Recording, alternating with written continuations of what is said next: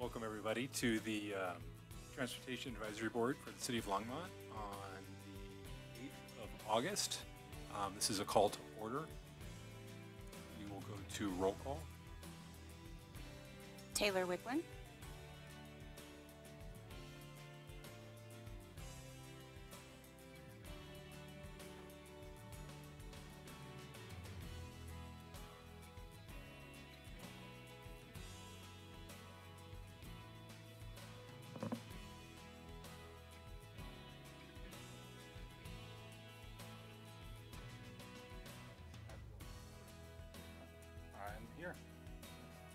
Liz Osborne.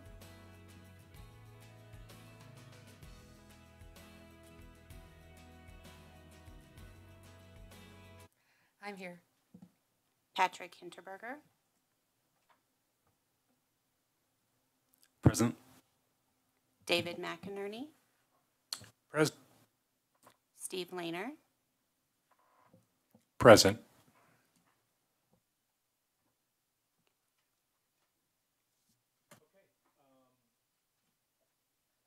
Next item on the agenda is our 2022 election of officers for chair and vice chair. I'm going to let Phil Greenwald handle the nominations and the counting.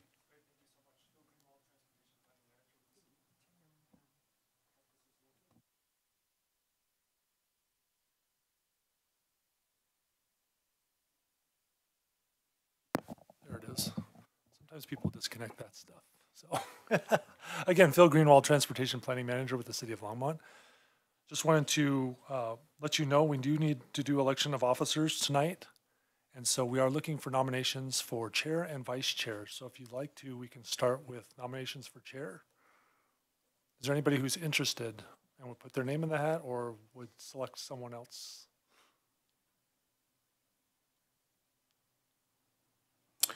In recognition of his admirable work as vice chair, I nominate uh, Steve Laner to become chair of Longmont's Transportation Advisory Board.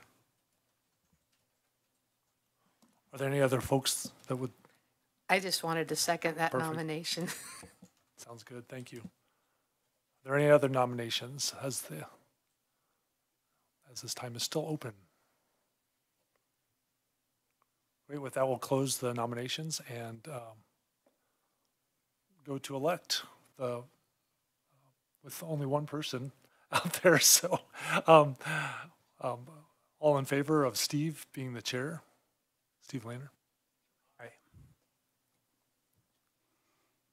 It's unanimous? Then we, uh, thank you very much. We will take uh, any nominations for vice chair at this point. Anybody want to throw their name in the ring for that one? Yeah, I would like to, ooh, a little close. I'd like to nominate uh, Councilperson Osborne for vice chair.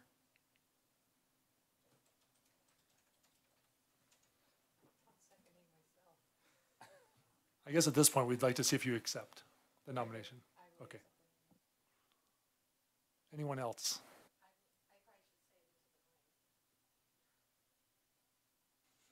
I would accept the nomination. Wonderful. Anyone else? With that, we'll close nominations and accept a motion for Liz Osborne to be vice chair of the TAB. A motion and a second would be great. I'll submit that motion that Liz Osborne be elected vice chair of the board.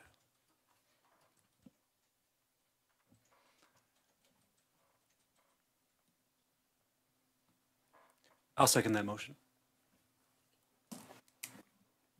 All in favor?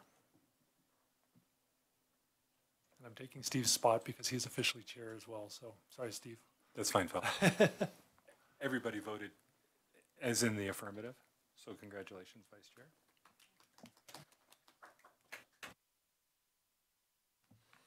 Okay, with that done, uh, we'll move on to the approval of minutes of the preceding meetings of uh, both June and July. Can I get a motion to approve, or I should first ask, are there any questions or uh, comments about the prior meetings minutes? As staff, we just want to make the comment that even though you- if you were not at the meeting, you can still vote in the affirmative to approve the minutes. You just can't make any amendments to the minutes. So just to be clear on that, because we had a little issue last time. Thank you. No, thank you, Phil, for the clarification. So any, any comment on the minutes? I have a few editorial comments on the July minutes. The first would be um, on page four, the third bullet item, sidewalk rehab. And under that, the fourth open bullet should read right of way, three words rather than right away, two words. Um, On page six, the fourth bullet item, cost strategies. Beneath that, the second open bullet, uh, spell bus with just one S. And finally, on page nine, second paragraph, in the last line, uh, the last line should contain the word youth, Y-O-U-T-H, not you, Y-O-U. And that's it for my comments. Thank you, Council Member McInerney. Any other comments or anybody else?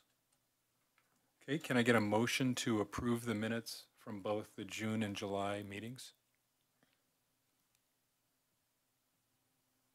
I move that we approve the minutes for both the June and July meetings. And can I get a second? I'll second. Great. All those in favor, raise your hand. Perfect.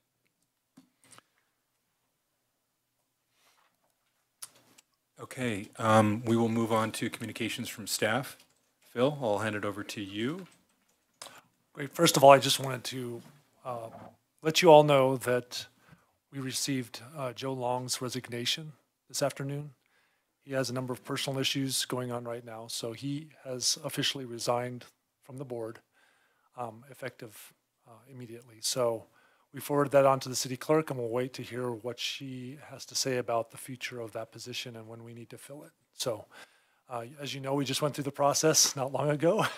We have two new members, and uh, that happened in July, or that started in July. So we, we're interested to see what the next process is going to be, and we'll let you know how that goes.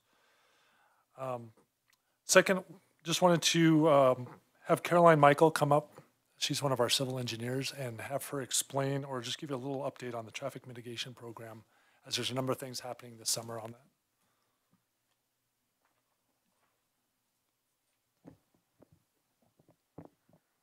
Hello. Hi, I just wanted to give you an update on where we are on the traffic mitigation program because I know the board has expressed interest before. Um, we currently have an ongoing project on Gay Street from Mountain View to 17th. Um, the most recent meeting we had on that is I met with some- folks in person in the 1300 block, which is north of Mountain View um, about a proposed um, speed table near some of their properties. Kind of gave them the opportunity to voice their, you know, yay nay about that. So um, see if we need to move it if we need to, which it looks like we might want to do end up doing that. Um, so the next part in that process will be to it, the, our process calls for a second public meeting where we present the final proposal and then it goes to a neighborhood vote. Um, other than that project, um, we have received a few more like applications like this summer for future projects. And um, I don't have the full list in front of me, but that includes Bowen Street, um, 3rd to 9th, uh, Missouri Avenue, um, Renaissance Drive, Maxwell Avenue, Redmond Drive, East Fifth Avenue, and I think I'm forgetting the last one. But um, those are still in the data collection phase, so we haven't made like any calls about whether or not we're going to move forward with those to like physical mitigation, or even if we can, or how many we might be able to manage, because it does become a constraint with time and budget. So that was all I had. Thank you very much. Next, we'll have uh, Ben Ortiz come up and just talk a little bit about the Zero Fare for Better Air in August campaign that's going on. Thanks, Ben. Certainly. Thank you, Phil. Um, my name is Ben Ortiz, Transportation Planner.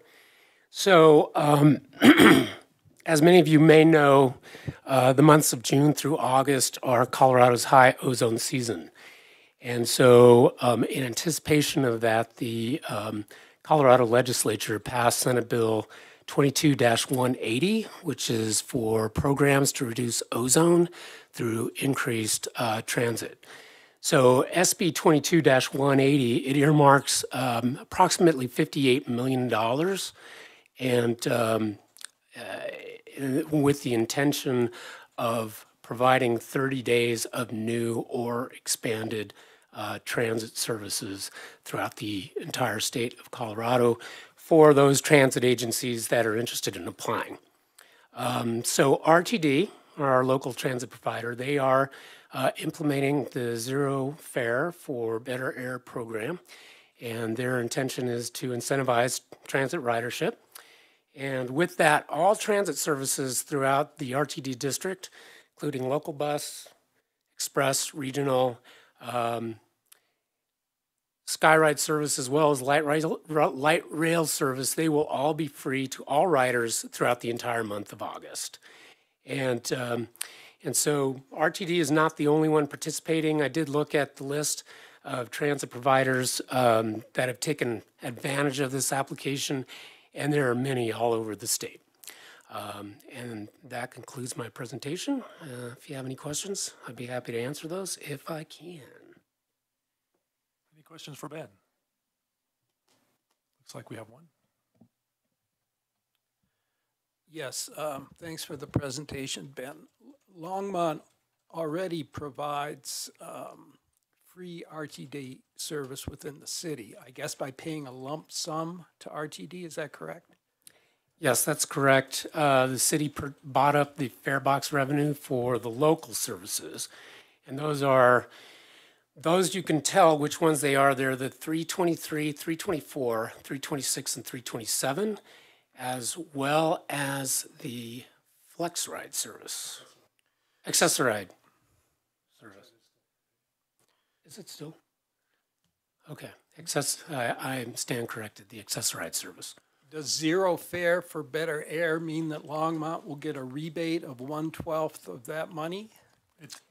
I'll For the just each- answer, I'll answer that real quick. Go Um, ahead. Yeah, we will, we will not. It wasn't in our uh, original intergovernmental agreement that we'd get that, those money, monies back, but we are going to negotiate for our next, our next um, IGA negotiation will likely include that sum in there as well. And I should just correct, the Flex Ride will be free under this program as well as the, and that's the call and ride service that RTD provides. The Access Ride was always free. People don't really know about that, but that's always been free. The local bus is also part of that buy-up that we have. And actually Boulder County that's sitting behind me tonight is integral in the pilot of that project. So without them, we probably couldn't have got it started, but it did get the ball rolling. Um, But also the Bolts and then the LD three that goes to Den, well, goes to Broomfield is also free. Great, thank you. Um, may I add one more thing? So, um, the city of Longmont will be rebated, uh, one twelfth of what we paid for eco passes for the city employees for the next eco pass purchase. I had a quick question. Um, how are we getting the information out of Zero Fare to the ridership, public in general? Is it through just regular print media, online stuff, or is there a concerted effort to get that information out? Yeah, all of the above. I mean, there have been a number of stories in the print media as well as online. Um, RTD has made a concerted effort to reach out to all their partners. We have internally um, uh, promoted the program amongst the city staff as well as the Public Information Office has engaged in outreach to to all of the city using their various venues. Great, thank you.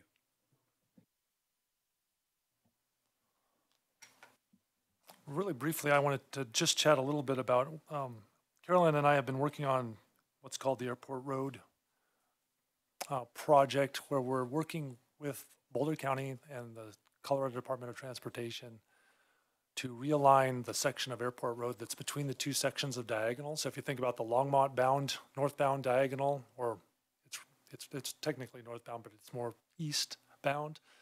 And then the southbound or westbound diagonal to Boulder, there's a section of Airport Road that has two directions right now. It's, it's bi-directional today. In order to keep that operating safely and uh, efficiently in the future with bus rapid transit, we need to change it so it's all uh, one-way northbound and no southbound direction of travel on that. So we want to make sure we get that out to the public, that you know about it. We're trying to get it out to the public as well with Boulder County and uh, CDOT's help to get that information out to the people that use that the most. It's, it's kind of an interesting way of traveling because if you're going south on Airport Road to then go north on the diagonal, it's, it's almost like a U-turn, but people are doing it and people do need to um, access Ogallala Road, which is this, the, the county road that's across um, the highway there, and that is a dirt road, but um, but to whatever ends this is, it, it really does save us a lot of money in the project and saves us probably more crashes. It's a safer situation to not have a signal on that northbound leg at northbound airport. So uh, just a couple of things. And if you want any more information about that, please let me know and I'll send that out to you. And we've got a lot more information on the traffic that's going to be impacted and those kind of things. But we wanted to get that out in front of you uh, sooner than later. So um, just to let you know that that's happening. So any questions on that stretch? Or do you, would you like to see the full report? I can send that out to you tomorrow morning as well if you'd like. Uh, the bigger report if anybody's interested in kind of how many cars are affected. It's, it's, I'd like to see it. It's about 400 to 500 vehicles per day. Um, if you consider there's 10 to 10 to 15 times more than that traveling on the diagonal, but it gives you an idea of order of magnitude. Um, that's not a lot of trips per day technically, but it is people impacted. So we'll send that out tomorrow or tonight. Quick question. Um, as somebody who's used the, the dirt road, Ogallala, to get over to North 95th, um, are, is 95th part of the city of Longmont? In other words, th- I, I know that there's a, there is a small kind of community over there, and I would imagine they're probably the ones who access that the most. Um, probably to get to, you know, some of the things either off of airport and, and otherwise. So I didn't know if you had any. Yeah, I should mention, that. I should mention that there'll still be a right in, right out for Ogallala Road onto the diagonal. So people coming from Boulder will still be able to turn right and still access Ogallala Road. And people from Ogallala will still be able to turn right and go north into Longmont. So that won't be affected, but the other, other ways will be affected. But there are, within, uh, I think it's within less than two miles each direction, there are opportunities to make U-turns on the diagonal. 95th Street technically isn't in the city of Longmont. It's in Boulder County. This whole section of street that we're talking about is actually in Boulder County as well, and it's CDOT controlled except for the signal, which is the city of Longmont's signal, which is, so it's an interesting cross-jurisdictional thing that I don't think anybody knows about, but we just maintain it, correct, sorry. We do not own it, we maintain it. Thanks, Jim. Um, so that's kind of it for that one, and I will send out that information to TAB later tonight. Um, and I just wanted to finally do one last transportation, oh, did you want to say? I wanted to say one more thing about transportation improvement program. We've been talking about this almost every month now with this group. Just wanted to let you know that we did get approvals from the Southwest Weld Sub-Regional Forum for our project on County Line Road from 17th north to 66. And I probably should have told Tom that because he's the project manager, but um, we did get, we did get formal approvals from that, from that board, but we don't have, we don't have formal approvals from the DRCOG board yet. So once we get those approvals, then it'll be official. I'll tell Tom about it. So, so thanks for your time on those. If you have any questions about the TIP uh, updates too, I'd be happy to take those. But otherwise, uh, we've got a full program for you tonight. Uh, three items on the agenda that will take a little bit of time, but any questions so far? Yeah, we, we're gonna, I think number six is we're gonna do, uh, we do have somebody from the public here to speak, and then we'll jump into the, um, the information items, if that's okay. Um, so Steve Nix is here to speak. Thanks. My name's Scott. I'm sorry, That's Scott. okay. So, uh, I'd have to say it was 30 years ago, but right now I was a TAB member. So I live at uh, 10694 County Road 1, so I'm on the east side of town.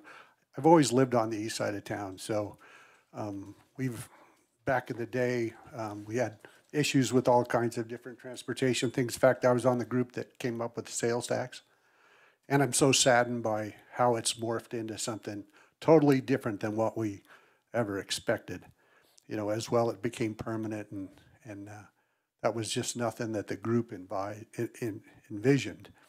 So, um, I had a lot to say. I don't know how much time I got, but I don't know why I picked this meeting to come to.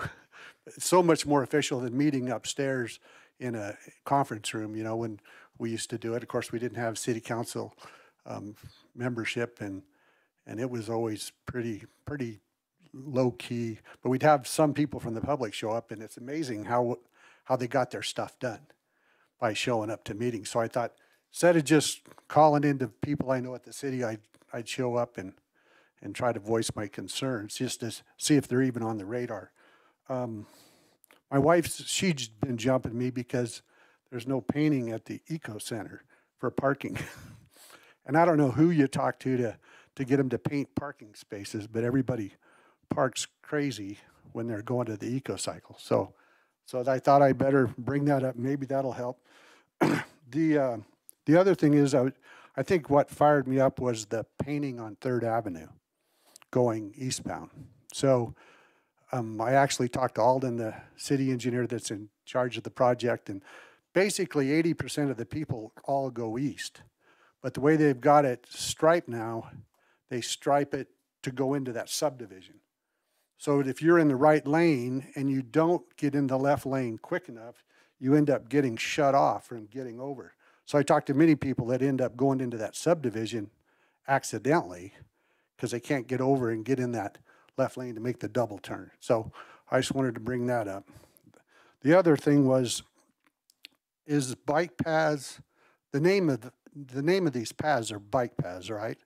So why would they have a bike lane painted on the edge of the travel lane?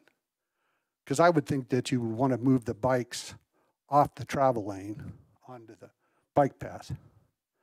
We don't have a lot of bicycle traffic on Third Avenue on the road itself, from my experience. And it just, the striping is, is quite different than it's been in the past. They give that three feet buffer. They painted it up in, I think the old way was better. So, um, one of the other things, I mean, 35 years ago when we worked on the sales tax, one of the issues was overpasses over the railroad tracks. Now, for us that live on the east side of town, we're always waiting for trains if you do anything on the west side.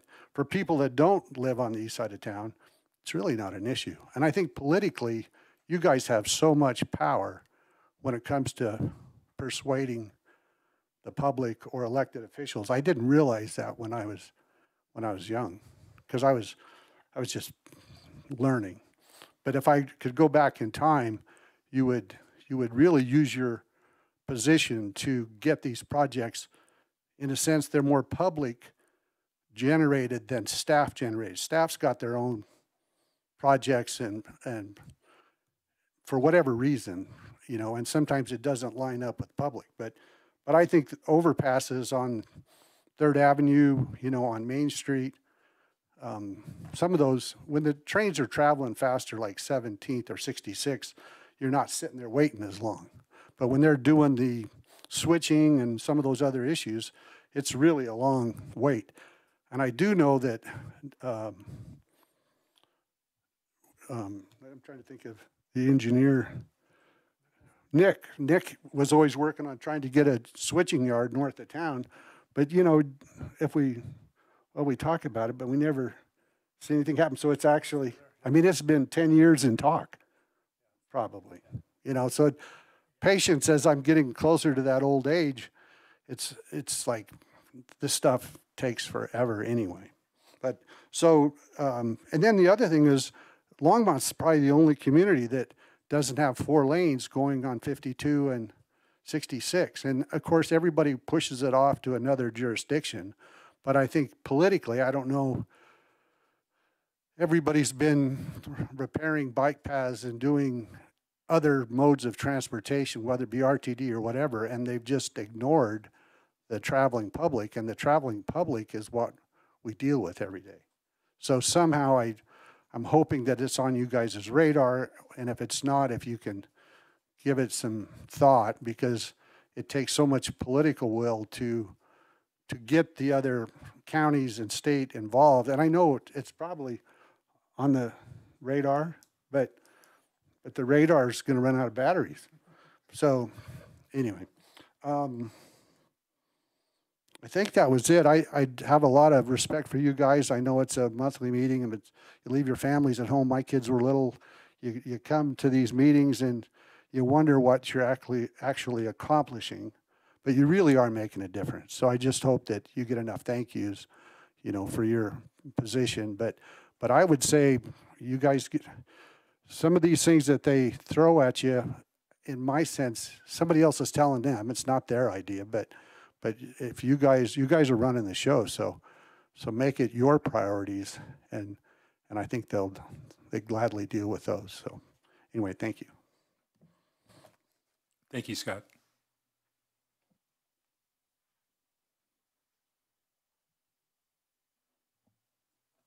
Um, We'll move on to the information items, starting with the transportation operational budget review.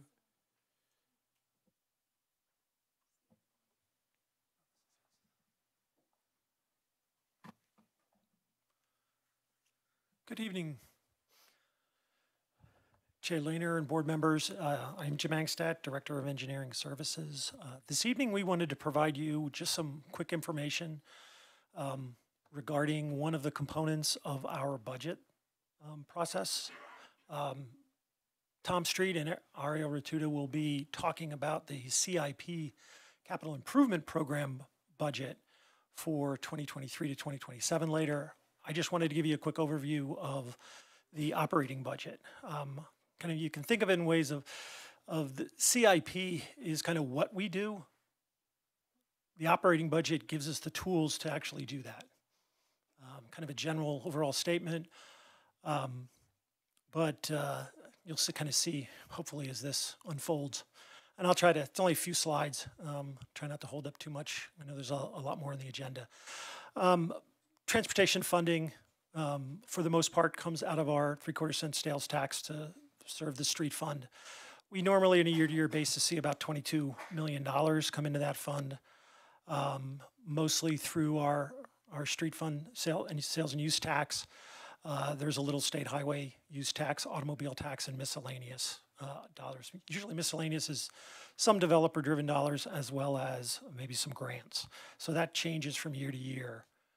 Um, For our operating budget in streets, in 2023, we're looking at around a $13 million budget. Um, I've broken it out, kind of some major uh, items, administration, engineering, operations, traffic signals, and the transportation system management kind of program. Um, there's also a TSM item in CIP, so I don't want to confuse you with that when Tom speaks about it later. Uh, this is is basically the the dollars we use to to make things kind of go. Um, so what are the budget items? Usually you'll see salaries, insurance, office supplies, safety expenses, uniforms, uh, training and conferences, equipment, repair uh, items, leases and rentals, telephones, um, materials and supplies, which is very critical and particularly in, in our operations group for items like snow removal. Um, and then we also, uh, a portion of our budget goes into the fleet budget uh, because they are responsible for purchasing of vehicles and then maintaining our vehicles as well. Um, in general administration, there's an item we have in our budget. Um, that's usually mostly salaries for uh, that come out of the street fund for other employees who s- help and assist uh, the street fund. It's usually at the director level. Um, we see uh, the um, who is now the I want to say the acting uh, or interim deputy city manager used to be the public works director. He is is a lot of that is his budget salaries. There's some goes to communications and there's some parcels and land management we also uh, help to fund. Engineering, this is kind of, I like to think it's the brains of the outfit, but uh, Phil may question that statement. Um, transportation engineering, uh, our survey and tech team, construction inspection. We have a team of inspectors uh, who who serve uh, for our CIP as well as some of our development projects. Uh, street improvement and street rehab. Um, those are all coming out of the, that help serve the engineering team uh, for um, our work. Um, and then operations. These are the guys who are actually boots on the ground, who do a lot of the field work. Um, street and alley maintenance, uh, street cleaning, uh, snow and ice removal. A large chunk of that is the materials they need to actually, when they are out, um, uh, prior to storms and during storms. Uh, we do some concrete repair and then signing and pavement marking. Uh, there's quite a number of signs in the city. Uh, we have a program uh, that goes through and, and looks for reflectivity in accordance with uh, standards. Um, we replace signs, signs get knocked over, uh, as well as every year we do in conjunction with some of, on some of our CDOT roads and fronting from CDOT, we do uh, refresh our, a lot of the pavement markings in town. Um, another item that falls under engineering, um, it's kind of between engineering and, and operations, is our traffic signals. Uh, we have three staff members uh, that serve that. Um, we also have a lot of contracted services. Uh, we contract with uh, a vendor who is who provides a lot of our maintenance um, with oversight from our staff. equipment's a big number. Uh, we get a lot of, of uh, every couple of months, one of our signal cabinets gets knocked over. We keep basically we keep two spare cabinets year round, so that if one's knocked over and damaged, we can replace it almost immediately without loss of service. Um, and utilities, uh, supplies, fleet, and repair and maintenance are other items that we we include. Um, transportation system management. This is one um, that's a little bit different in our operating because it has a large chunk of it is professional and contracted services. Um, salaries um, are noted there. Most of those dollars are for our crossing guards. We have a crossing guard program uh, in conjunction with the school district um, that um, we have crossing guards at a number of, of crossings throughout the city during the school year. Uh, they work like an hour in the morning and an hour in the evening. Um, and then our supplies, I noted that uh, because that's what is assisting um, some of our bike programs. Um, we, we buy some uh, bike racks each year, as well as our bike, our bike to work program and printing of bike maps.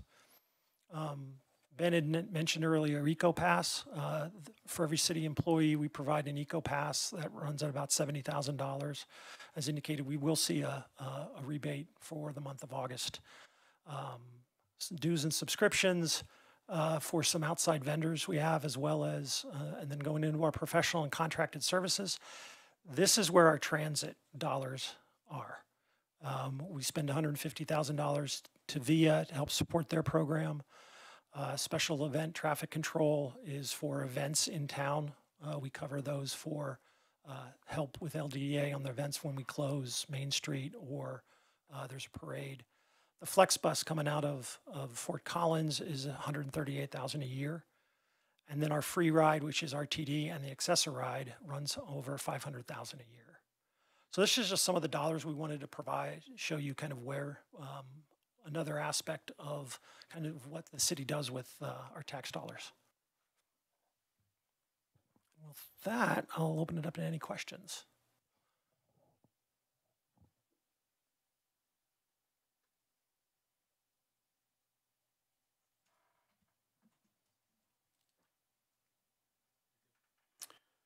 Jim, what's the source or the sources of the operational budget? Where's the money come from?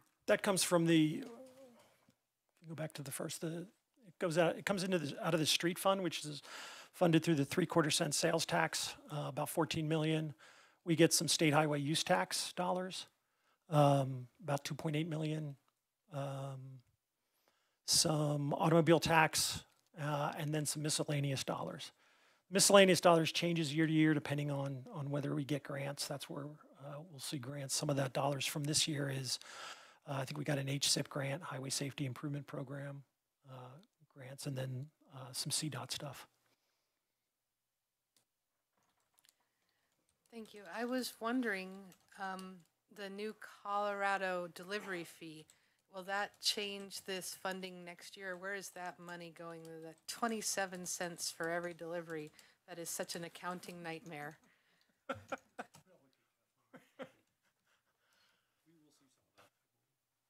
Phil says we'll see some of it. Um, I hope so. I, we, we, this is, uh, I laid this out from 2022. We have not, um, in our 2023 budget, have programmed that in at all yet. So when we get more information on that, we'll, we can provide you an update. Thank you. If you want to tackle it. Hi, Jim. Um, Thanks for the presentation. Um, I was wondering, I got, I got two questions. Um, How does the 22.1 million compare with uh, last year's budget? And then um, secondly, uh, since, since a lot of this comes from the, the three-quarter cent sales tax, um, how does that coincide with the revenue projections for the year? And and is it going up by the same amounts and and stuff like that? So when we, we, um, we program our budget, what we usually look at is, is a three to five percent increase in revenues as there's growth in the city. The three quarter cent sales tax hasn't changed from when it was originally initiated, I think in the mid eighties, I want to say. But we've seen an inc- steady increase of that as population grows, as we add, add commercial entities. Um, you'll see that those taxes go up. So we fa- they factor that in and then we track it. So this is a projected budget.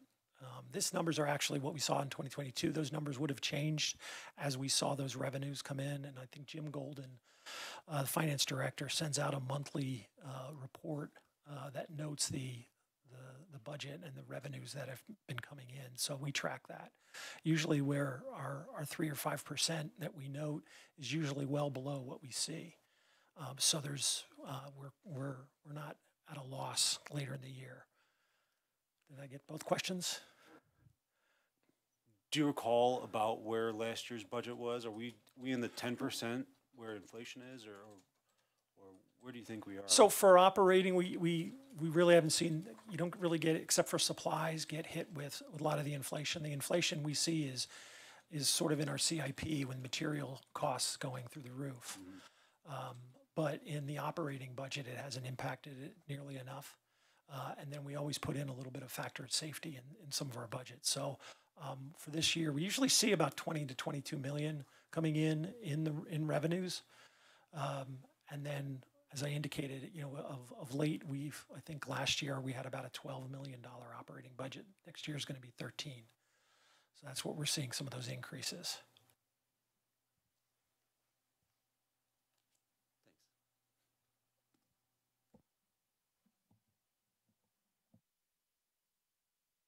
Great.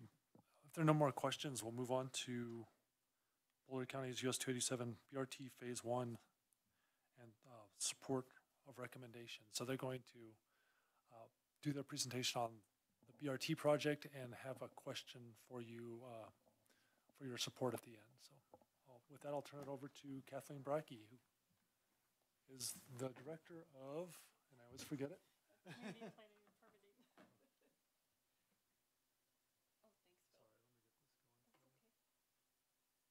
Great, well, Phil, Phil is helping us get set up for that. I just want to say hello and thank you for having us tonight. Um, I'm Kathleen Bracke. I'm the Deputy Director for Boulder County's Community Planning and Permitting Department and lead our Transportation Planning Team. Um, and with me tonight is Jeff Butts, our Transportation Planner from Boulder County, and he's the Project Manager for our US 287 corridor planning. I want to say a great shout out to uh, Phil for all of the work that we get to do together with the City of Longmont and Boulder County. None of the projects we work on together would be possible without these partnerships and all the work that we do side by side working on all of these different projects. And uh, while this evening we're here to talk specifically about the corridor planning for US 287, we work together um, on all of the different corridors and uh, safety and bicycle and pedestrian and transit and the list goes on and on. So I just am very, very thankful for the work and the partnership with Boulder County and the City of Longmont and working with Phil. So thank you. Um, and, I- and I think that's a good example of, you know, how we got here with the US 287 corridor planning process. Um, this project came about through the Northwest Area Mobility Study that uh, we, our communities all worked on together. um, over the years. And it's really been a planning partnership um, with Boulder County, City of Longmont, um, Erie, Lafayette, uh, Broomfield, RTD, and the Colorado Department of Transportation and uh, commuting solutions. We do a lot of work together with our local agency partners as well as Commuting Solutions, our Transportation Management Association for this area. Um, but what's also unique about the US 287 process is that we partnered with um, the communities to the north when we look at City of uh, Loveland and City of Fort Collins. Um, and, and there's many reasons for that. But really, it comes down to how people travel. People just need to get where they need to go. They don't think about what geographic boundary they're crossing or what jurisdiction or what county they're in, uh, for that matter. they just want to get where they need to go. And so, this um, multi agency partnership was really an example of that, of trying to focus on how, where, where do our customers need to go and how do we work together across our agencies to figure that out. So, it's been a lot of great work um, together. And we can go to the next slide, Jeff. Great. So, um, if you want to take over from here, if you want me to, I can give a little bit more background on this. But again, I think many of us know um, what we're facing on 287, the traffic congestion, the uh, safety concerns, and we're and our air quality issues. And we know we're facing a growing region. We have more and more people um, traveling along 287 for more trip types and purposes.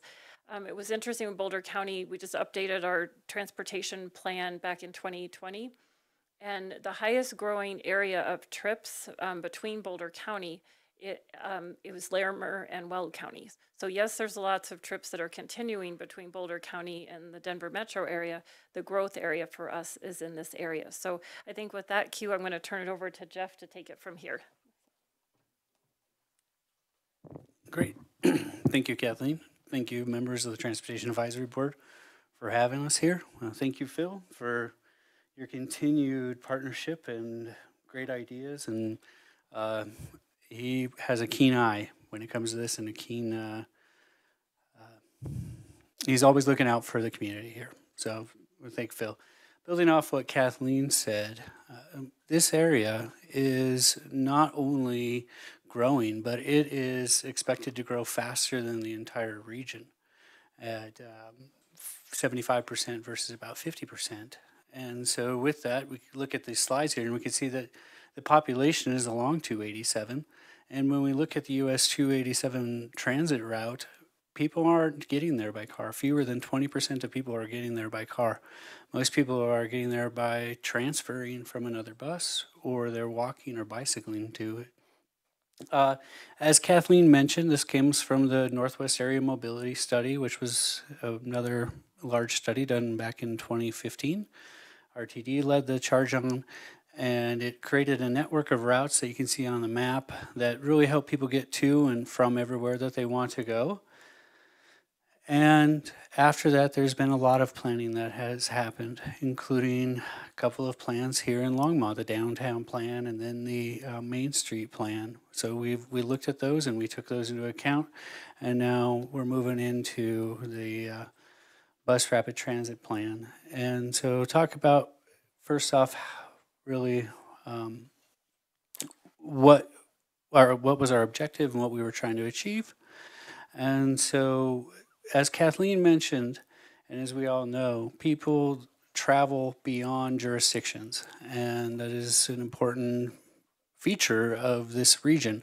And so we looked at connecting services with transit from Fort Collins into Denver, and then we had a core area where we were looking at transportation, the transit, and then also capital investments in the roadway between Colorado 66 in North Longmont and then 36 uh, at Broomfield. We had a lot of community engagement, including coming to the Transportation Advisory Board a while ago. Um, probably have some new, in fact, I know we have some new members now. I spoke with some of them back then. And um, we also talked with technical staff, members of the public, elected officials. And we heard a lot of themes come from the public and from the technical side of things and the elected officials, which you can see here, a lot of it beyond transit. There was safety, there was connectivity, bicycles came up. And so there was a lot more than just the transit on this corridor that people were um, talking about. And so focus right now on the transit and what we did. First thing that we did was we looked at the stations and state, we developed a stations area toolkit on that's applicable elsewhere, and it includes four different areas. It includes intersections around the stations themselves. It includes multimodal connections such as like bicycling, uh, bike parking, long-term bike parking, uh, the stations themselves, uh, making them comfortable, uh, some enclosure, signage, where you wait. There's a whole lot of ideas in in this. Um, and then finally, building up to placemaking and transit-oriented development, which is um, which I'll build to.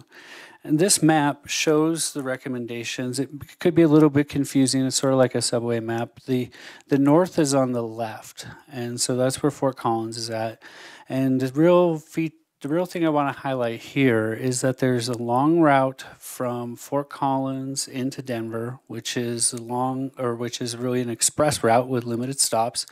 And then there's the core BRT between North Longmont and Broomfield 36 station. And then there is the shorter one between Lafayette and Broomfield. There's the hospital there, and so there's excess demand.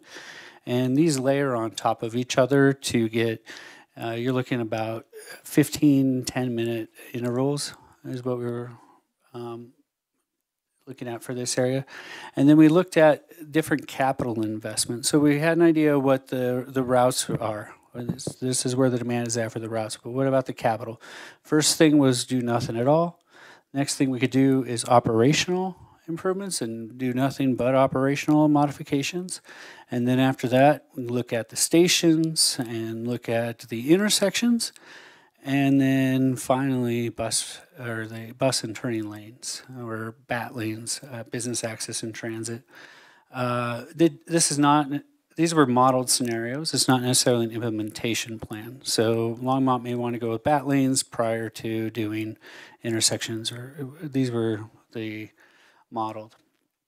And so to walk you through the data here, we looked at the morning, we looked at the night, we looked at the northbound and southbound directions here, and then we found the baseline travel time for the bus. And then we found that we could significantly reduce the travel time by optimizing the um, the operations of of the route itself. And then once we get into capital investments, we see that we are able to reduce the travel time even more and more. And with that, we see increased ridership. Um, for the operations side of things, we're looking at just under 4,000 is what was modeled. To give you an idea of scale, that's just under triple what there is right now. And then as soon as we get up into capital investments, the bus starts going even faster and it, it becomes more competitive form of transit transportation for people to use. And so we see more people using it. Looking at the different routes within here, uh, that blue again is the long route from Fort Collins to Denver. The red in the middle is the core BRT between Longmont and Broomfield, and then you can see the Lafayette to Broomfield portion at the bottom there. The largest section of ridership is really coming from uh, that express service into Denver. That drives a lot of the ridership, which I'm sure you're all aware of. That's a lot of people going there. Looking at the costs here, if, when we do the operational costs, that's uh, changes. There's no capital expenditures, and so that's operations and maintenance only. And then we get into scenario one, which again was stations and intersection uh, improvements, and we're looking around 180 to 200 million in 21 in 2021 dollars. And then uh, scenario three, where we do the stations, the intersections, and then include the bus and turning lanes, uh, bat lanes, we're looking 215 to 230 is the estimate there an important thing to call out here this is the operations that I put below here. And the reason I put it below here is because it shows that as we make one time investments in capital, it reduces the ongoing operations. That means we have to have fewer buses, fewer drivers, um, fewer, fewer hours of service paid out. Um, looking at the next steps, as I mentioned at the top, uh, we are continuing to move along. We're going to be opportunistic, looking at multiple different opportunities to uh, implement this. So there could be some going in in Longmont, some going in in Boulder County, some in different areas as opposed to rebuilding the whole highway at once. So it'll be a phased approach and, and try to meet multiple objectives. Like well, we we met up top, safety that came up huge, and bicycling came up huge. It was just consistently talked about, so much so that it's led to a phase two that we didn't know was going to happen when we started what's now phase one, the BRT feasibility study, and phase two is vision zero safety and multimodal mobility. So how do we reduce crashes? Looking from on US 287 from um, the county line to US 36. Uh, we're going to have funding partners, of course. Longmont uh, is part of it, so uh, thank you, City of Longmont, uh, for your continued partnership. The emphasis, of course, will be on safety for people, uh, and whether they're driving, walking, bicycling, getting to or from the stations, uh, and then we'll be following a federal planning process. That way, we get ourselves set up for those federal dollars, and the recommendations from this study will feed into that next study. And so we'll look for overlapping projects where we can find some win-win. So that's the overview that we have. If you want to go to the website, it's boco.org slash 287 planning. If you want to stay up to date, uh, boco.org slash 287 news. And with that, open it up for discussion. And Phil, I believe you said this was an action item where we're asking for uh, support to continue on this process for towards uh, federal funding. I forget how you wrote it, Phil.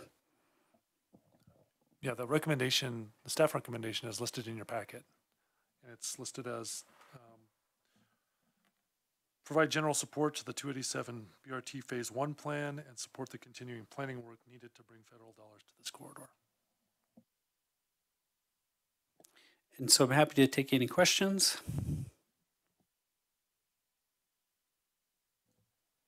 I have a couple. Um, kind of a question on the BRT um, and how we're going to be able to decrease, I should say, increase safety with um, the traveling public not really being familiar with BRT kind of protocols and methodology with the buses. Is there going to be a fairly long-term, let's say, education plan for the commuters? Because you're still going to have obviously cars on this corridor. Um, and as we all know, some of them are going to speed up and do other things to try to get in front of a bus when even a bus has a dedicated lane and or these these bat lanes. So I was just curious if you guys have done either any modeling on that or uh, has, has there been past studies on this to kind of talk about the, the safety value on, on that?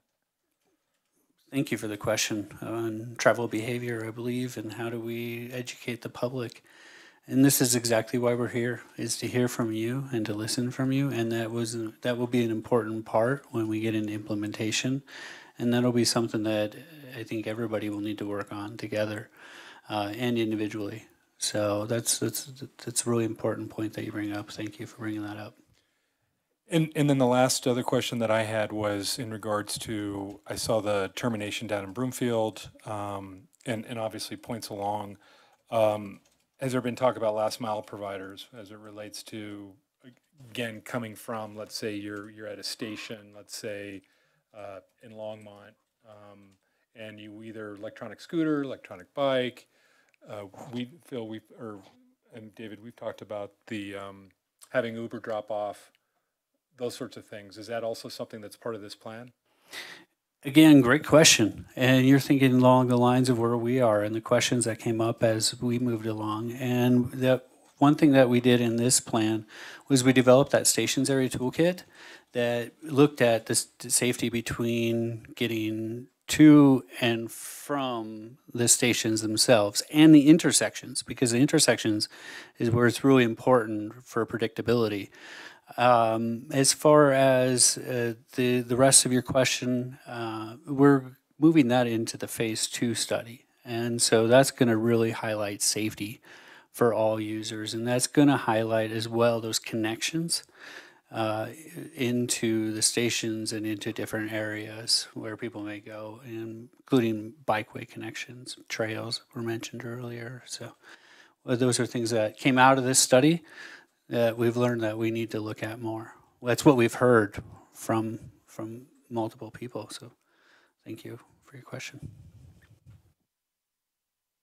Chair, thank you, Chair, or ex-chair, or your chair now. I- Any other questions from the board?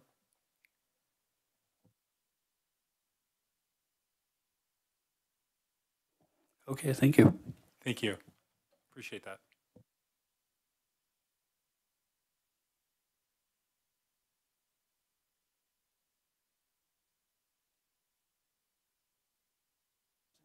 There's an action item. There's an action item, Phil. Oh, if, if the board would so entertain the, uh, the staff recommendation. To, again, that's to provide general support to US two eighty-seven BRT Phase One plan and support the continuing planning work needed to bring federal dollars to this corridor, so, um, you can or you don't have to, but, uh, that We should ask for a motion, I, I suppose. In a second, yeah.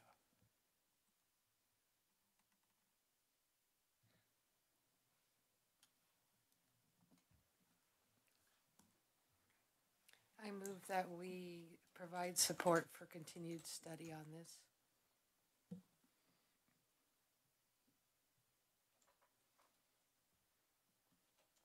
I will second that motion. Great. All those in favor, raise your hand.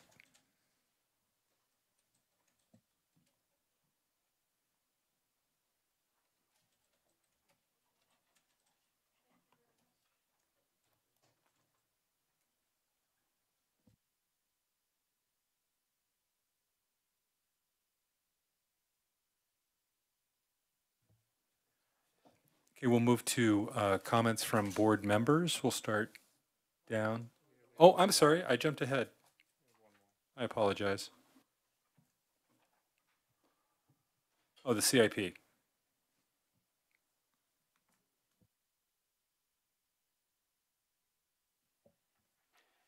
Chairperson Laner, members of TAB, my name is Tom Street, and I work within the Public Works and Natural Resources Department. And tonight I'm here with Ariel Ratuda, and we're here to present the city's proposed 2023 to 2027 CIP as it relates to transportation projects.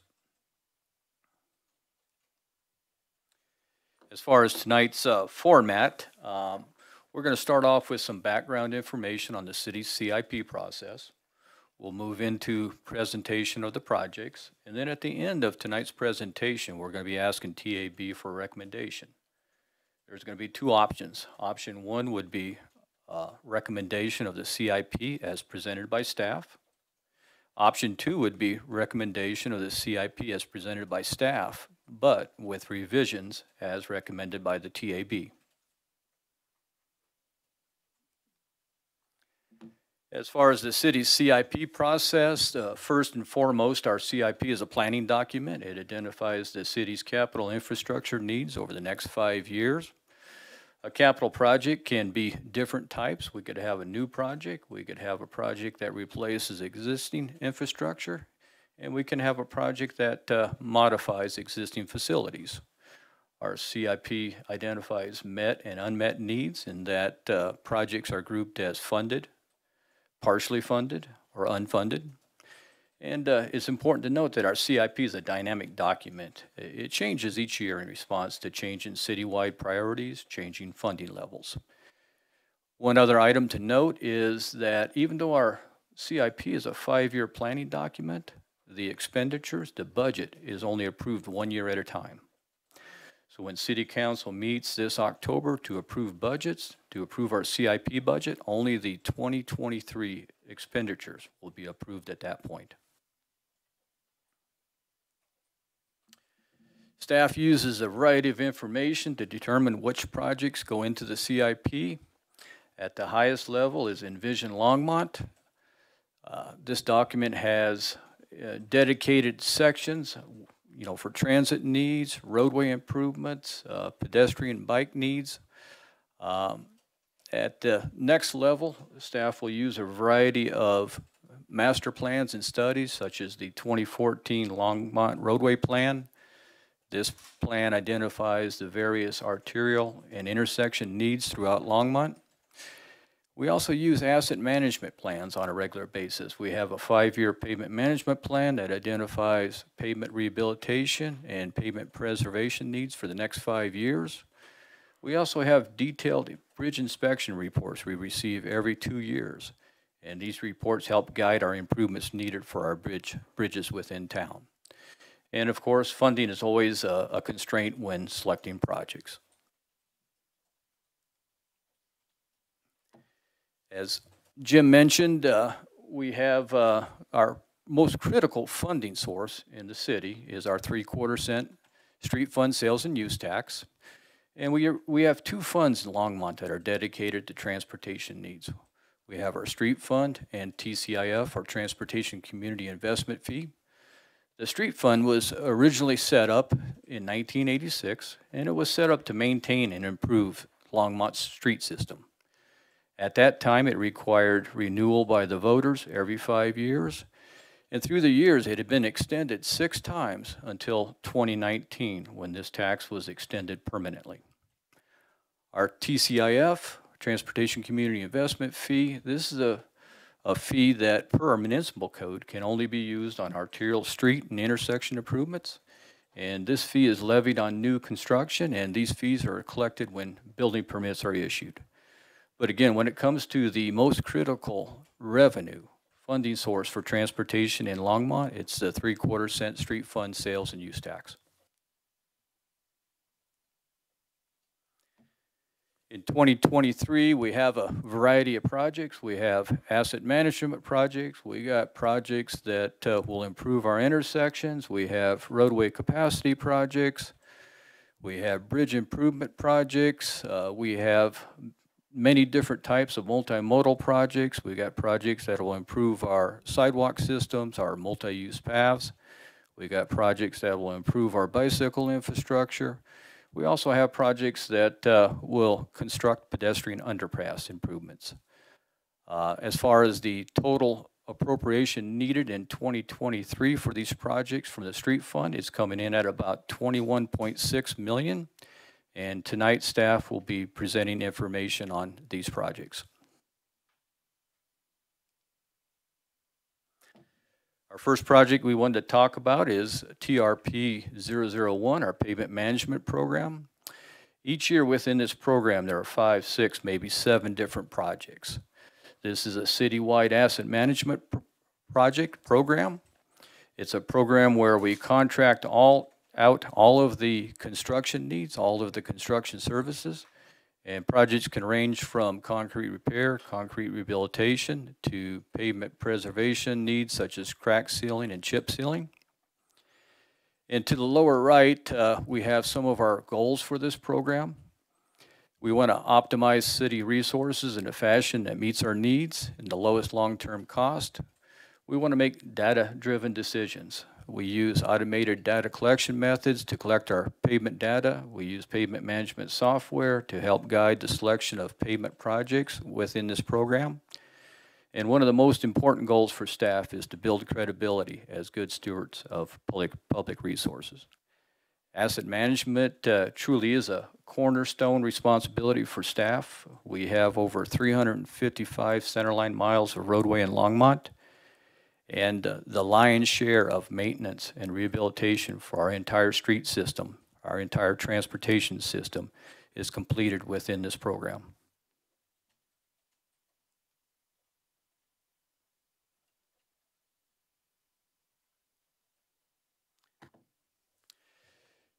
TRP 11, our Transportation System Management Program. Again, this is another yearly program. And within this program, we design and construct a variety of improvements. We have improvements that will improve safety. We have multimodal improvements. We, we may install traffic signals with this program, alternative mode projects, uh, intersection projects, projects that would uh, improve high accident locations. So a lot of different type of work and projects is completed within this, within this program. In 2023, we plan to move forward with our Sunset Street and State Highway 119 project. This project has two primary components. We have an intersection component, and we also have a road diet that will be uh, implemented on Sunset Street from Kansas Avenue up to Nelson Road. Also in 2023, we have two uh, alternate mode projects on County Line Road. The first project on County Line Road will be from 17th Avenue up to State Highway 66. We plan on widening County Line Road to accommodate on-street bike lanes in each direction. And currently, we expect that uh, we'll be in the design process for this project for all of 2023. Our second project on County Line Road will be a, a similar project. Uh, It'll make improvements to County Line Road from Slayton Drive to the St. Vrain Creek to accommodate on-street bike lanes in each direction.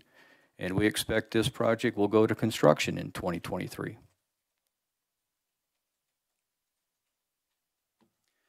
TRP 92, our Boston Avenue Connection Project. This is a project that's located at uh, Boston Avenue and Price Road. This project will provide a new east-west arterial connection within the city.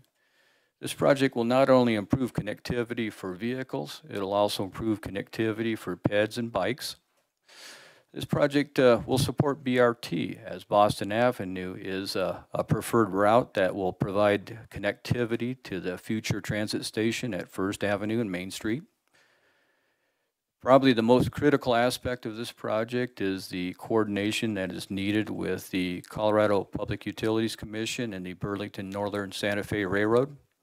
In order for this project to move towards construction, we need to have approval from the Colorado PUC uh, for the proposed, the new at-grade crossing with the, with the railroad tracks.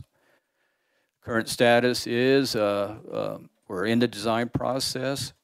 In 2023, we expect to wrap up the design process and uh, acquire all needed right-of-way, which would clear this project to go to construction, assuming we have PUC approval in 2024.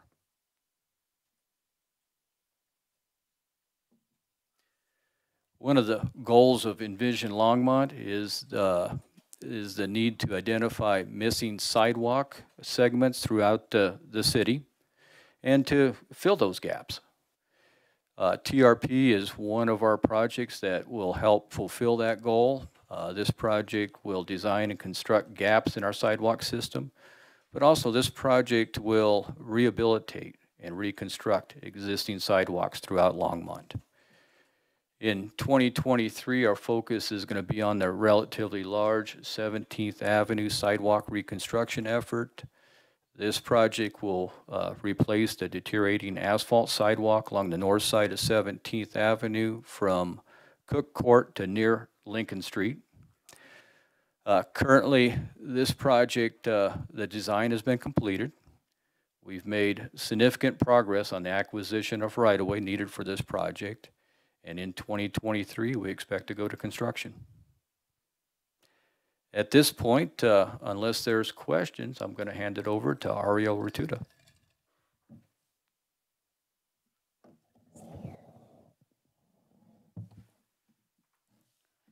Thank you, Tom. Um, I'm Ariel Rotuda. I'm a civil engineer that works in uh, Tom's group. Let's see. So moving right along, we have TRP 122 Hover Street improvements. Um, this project came straight from the top priority list cited in the Longmont roadway plan, which was delivered in 2014. Um, the chief goal of this project is to expand vehicular capacity of Hover Street. That would be from Ken Pratt Boulevard up to Boston Avenue through road widening and adding both travel and designated turning lanes wherever possible. Um, I'll note that this is a corridor that contains two of the highest crash rate locations for signalized intersections, um, which is why it was prioritized so heavily in the planning document. Um, in addition to easing traffic um, part of the design is also expanding bicycle, pedestrian, and public transit facilities along this corridor while making safer those that are already existing through uh, slight modification. So over the last few years, the entire corridor has been under design um, in one single design effort. However, construction is to be divided into three different phases um, and constructed as uh, funding becomes available within the city. So, um, as prioritized with staff consensus, phase two, which is the Nelson Road and Hover Street intersection, pictured in this rather busy figure that I've included. Um, but here you can kind of see where we're planning to add travel lanes, turning lanes, and um, increase ADA accessibility and pedestrian um, facilities. This project was broken out into uh, a new CIP project, which is listed in your in your handout, TRP 124. Right now, we are undergoing right-of-way acquisition um, and negotiations with Boulder County. Um, we are planning to take that 90% design effort through the finish line, and then we are hoping to construct this phase in 2025. TRP 132 is our Enhanced Multi-Use Corridor, or EMUC plan. Um, the EMUC plan, which was finalized and delivered in 2018, uh, proposed designs for each of the selected EMUCs at a higher planning level. Um, considerations for design included buffered bike lanes, detached sidewalks, and modifying roadway lanes to mitigate traffic wherever possible, um, depending on existing and projected traffic loading in these areas. Um, two areas that were identified to most improve connectivity to um, key destinations such as parks, trails, schools, and the like um, shook out as 21st Avenue and Mountain View Avenue, um, both roads spanning from Francis Street all the way to Main Street to the east. So, design for 21st Avenue is slated to start next year in 2023 with construction in 25. Following that, Mountain View Avenue design, um, which is there's a slight error in my slide, apologies, is slated for 2025 with a construction goal tentatively in 26. The Main Street Corridor Plan, which has been cited a couple times tonight, um, this plan, similar to the EMUC plan, provided preliminary engineering and conceptual high-level planning for a five-mile stretch along Main Street um, from Highway 66 capping the north to Plateau Road capping the south. That's shown here on the left. Um, the plan's objective is to highlight transportation needs centered on safety, mobility, connectivity, and, and, and access. Um, in general, this meant throughout the en- entire corridor identifying optimal locations for median and mid block crossings, um, as well as sidewalk connections and bicycle infrastructure um, where possible. So, North Main and Midtown, the two northern areas highlighted in red, um, are slated for further evaluation to help inform actual design efforts. Um, part of this design is a pedestrian underpass at 21st Avenue. Um, that is on the docket for 2023. And along with that, we're hoping to in- incorporate a coordinated wayfinding effort as well as traffic signal modifications throughout. Um, those are also in the pipeline. And I will mention that the spirit of, this effort is shared and connected by the previous project, uh, TRP 132 EMUC project, providing this grade separated crossing under Main Street at 21st Avenue, and then also progressing the EMUC that will be on Mountain View um, to Main Street and through the intersection, progressing to the east. So this is a, a new one, TRP 138 uh, Pace Street retaining wall reconstruction. This project came to us um, by the patrons of the Ute Creek Golf Course and the golf course staff um, reported a failing wing wall adjacent to the underpass located on 17, excuse me, Pace Street between 17th Avenue and Windermere Circle. Um, this is nearly identical to an underpass wing wall failure that we saw um, which was designed and reconstructed in 2018.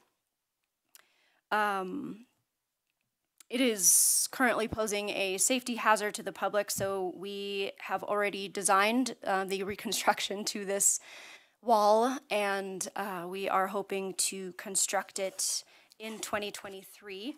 Part of this design includes uh, an underdrain system to avoid drainage loading behind the walls, layered reinforcement within the walls, which is currently not present as shown in the picture, um, and sidewalk improvements to the east side of Pace Street uh, while we're there. Um, in the interim, we had our uh, our operations staff um, temporarily secure the wall so it is not currently posing a, safety hazard. Uh, so rest assured.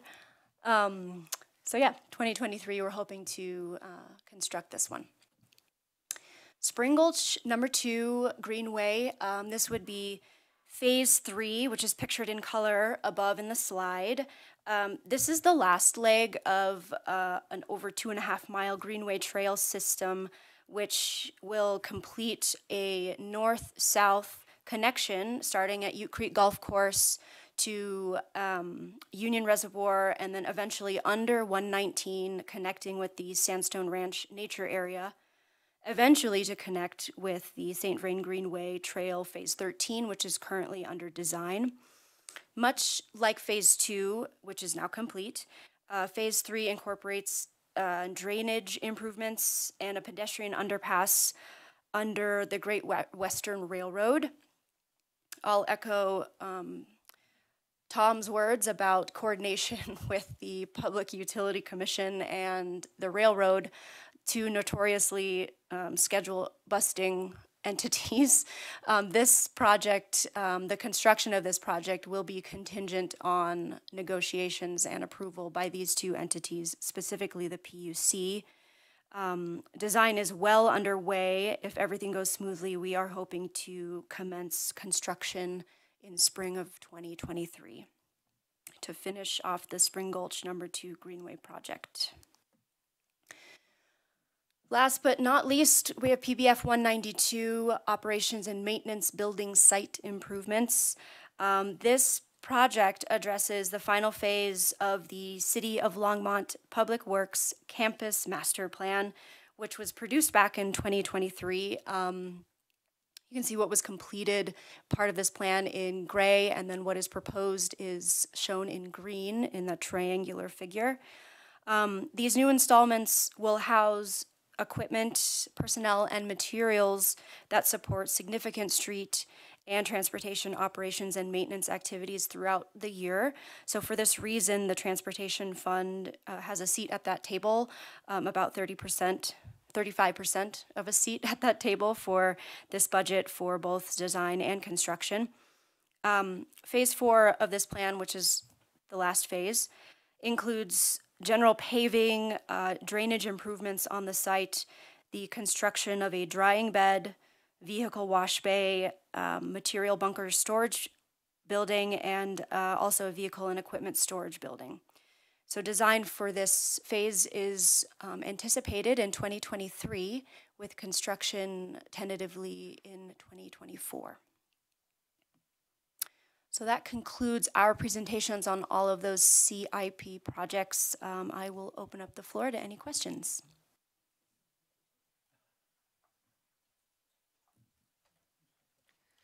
Thank you. That was really fascinating, and I enjoy it. Thank you for all the work you did.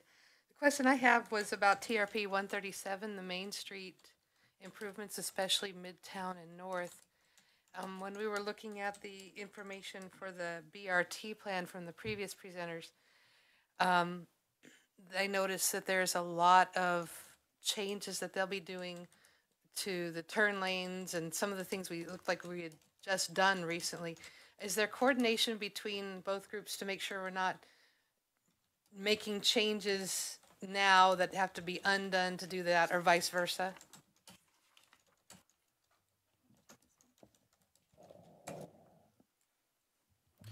Yeah, there's definitely uh, a, a lot of coordination going on between the two efforts. Uh, I, I believe Phil would probably be able to expand upon the uh, type and amount of coordination that is happening, but, uh, yeah, definitely the, the different groups involved with the different projects are talking on a regular basis.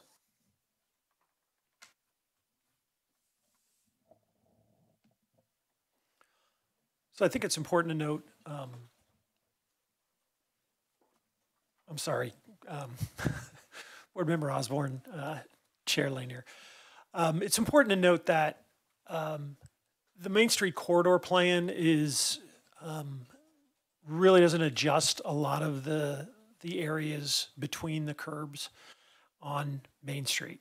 Uh, it focuses a lot on on other components of the transportation system, trying to move, trying to do some improvements, im- improve landscaping, im- improve uh, bicycle and, and ped connectivity to start driving some of the development um, on that, those areas of Main Street. What we're we're tying it to mostly is we're starting to see a lot more development or redevelopment along the corridor. So as part of the development review process, we are requiring developers to uh, add improvements um, from the curb line to their building uh, that is in accordance with the Main Street corridor plan.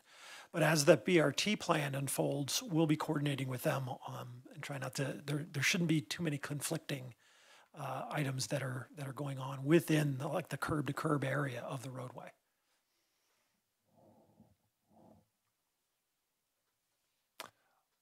Well, I, I'll just carry on to that because the, the BRT plan really does not do much north of Ninth Avenue in Longmont on two eighty-seven for either the one nineteen or the two eighty-seven corridor. What we are looking at is at, at the intersection, some signal timing improvements that would help with the bus operation. We're also looking at some bike ped improvements, again, beyond the curb line uh, or outside that curb line, but still within our right of way. But they're all working together with these different um, opportunities to move forward. As you'll see, the 21st Avenue underpass design, that's one of the TIP projects that we brought forward to you, and it's looking very promising as as receiving funding. So that will be incorporated with the, the planning piece, but then the engineers will take that over as the design piece and work it into that piece as, as it moves from planning to implementation. Thank you. What I would think I noted, that answered a lot. What I think I noticed that was concerning to me was the previous slide, previous group was showing us information, and in their packet, there was information that indicated some uh, bus lanes um, right there at 17th Avenue. And I don't know how that's going to work, especially with all the things that were just done to upgrade 17th Avenue.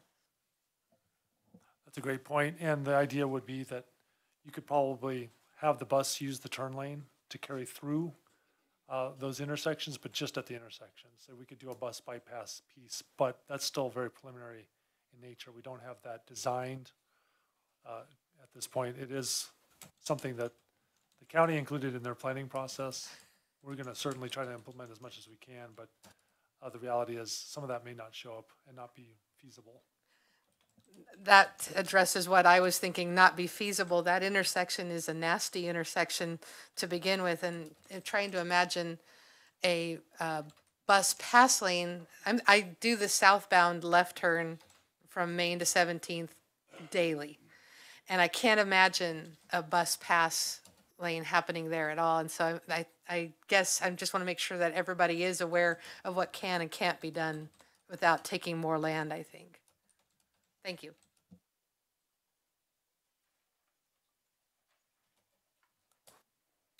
Hi, um, thanks for the presentation. Um, my question was about the pavement management program, the TRP 001. Um, and maybe I missed it um, during the presentation, but it, it is a large chunk of money. The 8.2 million dollars, I believe, is is slated for this. Can you just go over some of the major areas of the city that that 8.2 million dollars is going to hit? It, it's a citywide program. And again, the project selection is based on the pavement data we receive, use of our pavement management software, along with staff judgment. At this point tonight, I don't have the list of streets that are being proposed for 2023. But typically speaking, you know, they're spread throughout the city, and there's typically a good balance between local residential, collector, and arterial type roadways.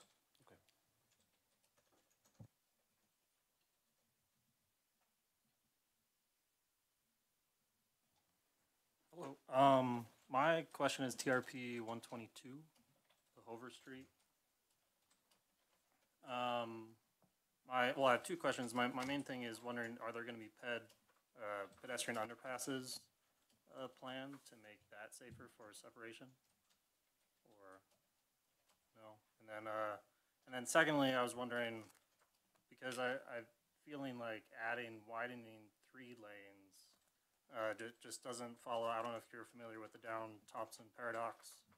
Uh, you know, improvements in the road network will not reduce congestion if improvements make public transit, uh, less, uh, convenient. So, so I'm just wondering, if we're gonna try to improve congestion, shouldn't, should we focus on just, uh, public transit network? Uh, that's, that, that's my concern.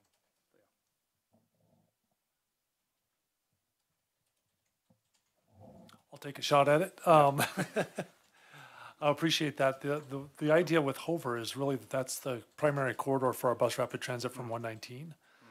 So you saw a previous slide of Boston Avenue crossing the railroad tracks just north of the, um, St. Vrain Greenway. uh, Closer to downtown. This is actually the segment to the west where on Nelson, we have a BRT that comes up airport, north on Airport, and east on Nelson, and then north at Hover right here. And then we have the one nineteen portion of the corridor that comes up one nineteen, a separate bus route. that comes up one nineteen at Hover, turns north on Hover, and then it uses Boston Avenue to get across to the First and Main Station. The other bus will go kind of on the west side of town and then, uh, jog over on Seventeenth and go north up to sixty-six on Main Street. So that one kind of serves the whole west side of town for bus rapid transit. Uh, it'll be especially effective in the more commuting times. And then this other bus, uh, is meant to go down Boston and use that crossing. So the widening does actually enhance what's happening with buses as well in this corridor. What may be a potential is that we could provide more, um, you know, bus-only operation or bus operation for that third lane in each direction. But right now, we're just, it's been designed as a through movement for all vehicles, but it does help the bus. I'm, you know, my, my point is if we just make it easier for a car, then who's gonna take the bus rapid transit? So, Thank you for that.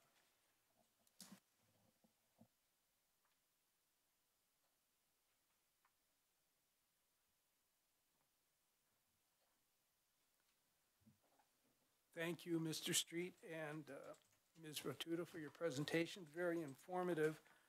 Um, I'll start off with a question for you, Mr. Street. I was looking through the, the project sheets that were included in our packet, and some of them were puzzling to me. For example, PBF 080, which is titled Municipal Buildings Boiler Replacement. A sum of next year's funding for boilers would come from a source identified as fleet. So what is fleet and what does it have to do with boiler replacement?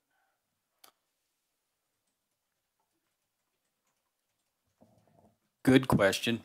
I think, uh, I think this question is really related to PBF 192 that Ariel spoke about. And it, it, it's really related to our financial policies. And when we have a building, a facility that needs improvement, that needs modifications, it's up to that service that's within that facility to pay their fair share. So my assumption on that particular uh, CIP sheet, that fleet has skin in the game and they need to pay their fair share. And the intent, to be honest with you, wasn't really to, you know, point out fleet's uh, responsibility in that project. It was really meant to show the street fund's responsibility for that facility, for that project. A lot of times people ask, well, why is the street fund paying for boilers? Why is the street fund paying for a new roof? And, and that's the reason why. Okay. Uh, In other projects, I won't go into the details of the project numbers and so forth. I noticed that um, fleet funding and also street funding, which I assumed refers to the sales tax revenues. We're also being uh, appropriated for flooring replacements and uh, HVAC replacements and so forth. And some of the buildings listed, I, I was really hard pressed to make any connection to transportation. Yeah, you know, again, it, it goes back to those facilities that, uh, they have a street or transportation service housed out of that building or that facility. And the street fund needs to pay for that portion of those improvements. So, you know, it could be, it could be replacing the carpet, it could be replacing a roof, it could be modifying that structure. So all of these projects are related. But we really wanted to have full disclosure and make sure it was apparent that street fund funding is going towards some of those efforts. Mhm. And to the best of your knowledge, have um, the revenues generated by the street improvements tax been appropriated for these projects that are, seem to be tenuously related to transportation ever since the money started to be collected in probably 1987? Or is that something that's happened more recently? Uh, to be honest with you, I can attest that uh, it, it's been uh, this approach from day one, from 1986. I, I can attest that over the last five or 10 years, this has been consistent with city policy. Okay, thank you. Um, I noticed that the project justification for the Coffman Street busway improvements indicates that center running bus lanes are the fastest and most efficient facility for buses. Are center running lanes proposed for Coffman? No, they are not. Uh, What, what happened was there was a reevaluation of the whole corridor. That was the original scope of the project. That center running lane, center running lanes were considered the best for bus rapid transit. Uh, That was in more like corridors like Colfax and Denver. um, Also along US thirty-six in between Boulder and Denver. It did not apply for Coffman Street, so it was considered the standard, the gold standard. But with Coffman Street, we took a reevaluation of a two-lane road with a center turning lane parking. It was a completely different type of facility, so it did warrant that we do the outside lanes. Because there were stops along that outside lane Mhm. too, we weren't gonna put stops in the middle and then try to have people cross the street from there, so. Right, that was my recollection that um, the preferred alternative was side running, but I was puzzled to see that. in Yeah, the, those, uh, those CIP justification. projects, once you get the uh, scope in there for the very first one, regardless, it seems to just, unless we go through and do a really, my, my job is to edit those down better. And I didn't, I, I didn't look at that one specifically, but that one was probably one that we could have, we could have changed, but it does stay, you know, once you put it in, it stays that way throughout its, its history. Okay, thank you. I'm going to move along to Nelson Road and Hover. And uh, this is kind of a follow-up to the comment earlier about pedestrian underpasses. So I'll ask you, Ms. Rotuda, explain to us how you um, believe that expanding an intersection to eight lanes enhances the pedestrian experience.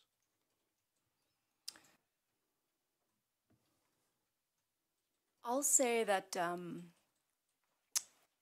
I myself was not part of this design effort. I'm uh, moving it along as we had some staff move away from our group. So I'm gonna phone a friend and turn it over to, to Tom. Uh, difficult question, a- and you're right. When you add laneage, you know, there's always trade-offs, but I, what I will note on this project is that, uh, it has taken a balanced approach as far as trying to incorporate transit needs, on-street bike lane needs, vehicular needs. So we're trying to promote, you know, the, um, best balance for all modes of transportation, but to be honest with you, there is some trade-off. Okay, so pedestrians will be allowed to cross Hover at that intersection. Is that correct? That is correct. It's a signalized intersection. So and, there'll uh, be demand actuated pedestrian signals? Correct.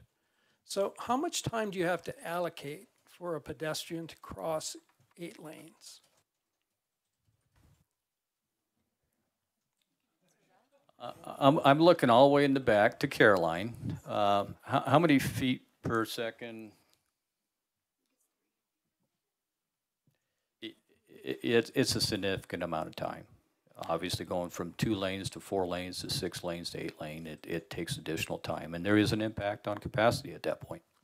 Right, that was going to be my next question. Would you, would you disagree if I said that having to put in a pedestrian crossing time for eight lanes significantly reduces any capacity improvements that would otherwise entail uh, for cycles that include a pedestrian in the intersection? There certainly will be an impact, but again, it's going to be based on the actual demand for pedestrian movement across that intersection. So my next just- question is, Can I just Uh, add to go that, just real, real quick, Mr. sorry. Um, we've also spent a significant, significant amount of resources on a pedestrian underpass just south of this location. So we really are trying to work people to move closer to that Bentway. It's just south of Bentway. Uh, that crossing as well. So that, a lot of effort was put into that underpass a number of years ago to get that built.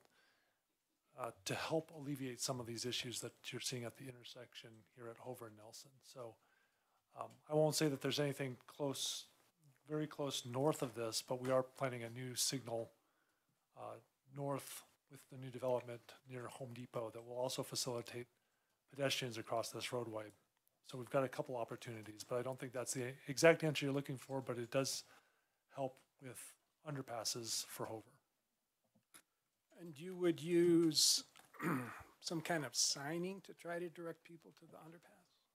That's part of the whole bus rapid transit program is to do a wayfinding program to get people both to the different transit um, stops, and there is one just north of Nelson on Hover planned. So a transit stop there would be a, would- would be critical. And there, um, not only that, but to get people over, or in this case, under Hover Street, uh, just south of this location, and basically point people to the safest crossing point as well, and the different, different new facilities that we'll have out here for bicycle and pedestrians. We won't have the on-street on Hover, obviously. That's gonna be mostly, uh, anything for bicycles and pedestrians will be, um, beyond the curb, I should say, or within the, yeah, within that curb, curb piece, outside of the lanes of traffic. The on-street piece is the Nelson section, so there's mm-hmm. on-street there. But it is about getting all these different, and we talked about this, I think, a little earlier, about how do you get all these kind of micro-mobility pieces and the, and and the, and the last, first and last mile pieces to the bus rapid transit corridor. So it's, it's all a system along this whole corridor, and this is one aspect. Okay, thank you. That sounds like a, a, a good approach. And finally, um, I'll turn to BRT on Boston Avenue. Now, did I hear correctly that the extension of Boston Avenue will utilize uh, an, an at-grade railroad crossing? That is the current proposal. Okay, and my follow-up question is, isn't it somewhat antithetical to put bus rapid transit uh, over an at-grade railroad crossing, considering that the roadway traffic always has to stop for a train? I will answer that one as well, because I can feel the heat coming from these guys. Um, there is a, there is an issue, obviously. There's a couple issues, actually. By locating First and Main where we did, we do have to cross the railroad twice. Uh, we do have South Pratt Parkway, the overpass. And Scott Nix will remember this one, um, and the issues with that. Uh, that overpass does provide the relief that we need. So we can have buses, it's a, it's a little longer way to go, but it is going, uh, Boston to Price Road if there's a train block, blocking, and then use the Pratt, the South Pratt Parkway overpass to get around that. But we, we were pushed quite hard by the folks who were doing the marketing and the, and the redevelopment is to really put that station where we planned it on that south, southwest corner of First and Main Street. That tuck- tucks us into that corner of being surrounded by railroad tracks. So you're correct. And we've looked at the idea of how do you do underpasses for Main Street under the railroad tracks and how you do uh, underpasses for Boston underneath the railroad tracks. And they're both, um, they're just so expensive and they basically take away all the access for the businesses nearby because of the amount of space that you need. So we've, we've looked at those through the years. I'd say that every five or so years, we get another request for Main Street underneath the railroad tracks and we look at it again, cost it out and, and figure out what the impacts are. But um, those are both tough intersections and we're gonna have to live with kind of what's happened with all this uh, historical um, consequence for our, for where we need to put these things uh, for redevelopment purposes and for the bus purposes. Got it. Thank you. That's all for me. Um, I've got one question, but a comment. Uh, first off, thanks for all the information. Very comprehensive. Thank you. And thank you, board members, for all the questions and the, and the comments as well. Um, Hover, I was just curious, um, as we're talking about the widening, um, and with the redevelopment of Twin, Twin Peaks Mall, I've noticed there's a lot more ped traffic that goes across, uh, almost mid, you know, mid between Nelson and, and Bentway. Ped overpass. That's pretty common. I know Littleton, they did that quite extensively to a remodeled, uh, shopping mall. They put ped overpasses, I think it was Wadsworth and I can't remember the, the other streets. So I'm just curious if there's been other alternatives to alleviate some of the pet issues that would happen at the signalized intersections to be able to allow them the ability to get over to, you know, let's say you, you want to get over to Whole Foods, right? But you parked over by, I don't know, Wahoo's Fish Tacos, right? So I was just curious if that was anything that was even looked at in terms of a plan. Oh, I see some nodding. I think it goes back to Phil's earlier comment as far as the Dry Creek pedestrian underpass that was designed and constructed several years ago. It's just south of Bentway, and I think it provides a lot of the benefit. It fulfills a lot of the need that you're talking about with a, a possible overpass at that location. And I'll just add that none of those things are in our current comprehensive or envisioned Longmont plan at this time.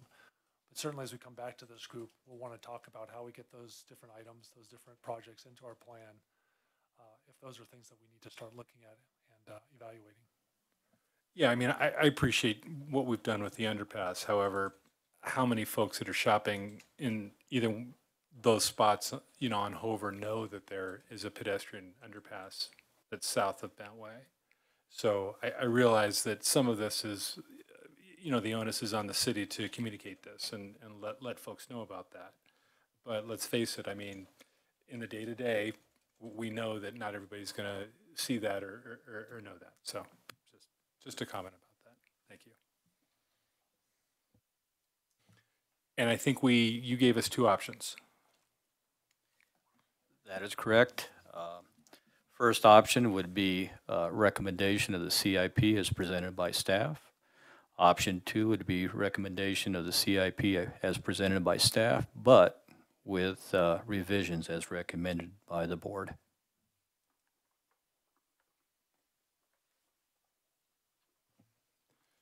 I guess I'm open to, how, how would we tackle this in regards to the second option? What revisions from the board does anybody see that they would want to, I guess, discuss further?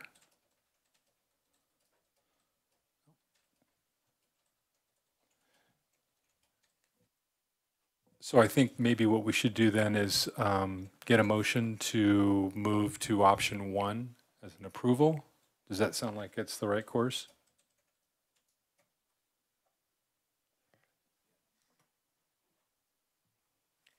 I move that we approve the CIP plan as presented by staff.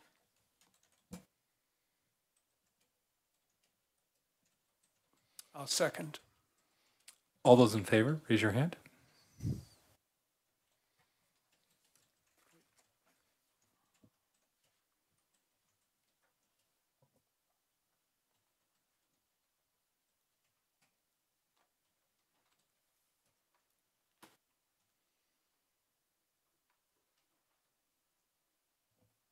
Okay, um, I think we've wrapped up the action items and we have, um, comments from the board members. I'll start down with the vice chairperson, Osborne. Um, I just want to thank everyone that worked so very hard to present information to us tonight. Um, we value the time, or I should say, I value the time that you, you put in and, and it was, it was very informative and explained a lot of things. Um, I want to thank, uh, Mr. Nix for speaking, giving us some historical background on some things that I hadn't realized, and I really appreciate the work that he has done in the past and his willingness to come here and tell us what is important in his eyes and the people he speaks to because we don't get a lot of feedback from the community and that and I really value you coming here tonight. Thank you.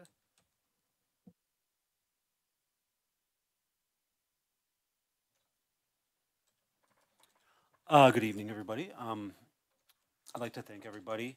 Uh, like Mr. Nix said, everyone um, taking time away from their families on a Monday night um, isn't the easiest thing to do, especially uh, public servants like yourselves um, that come here. And, and so, thank you for preparing all this and, and giving um, giving your presentations um, for us. Um, I, I really do appreciate it.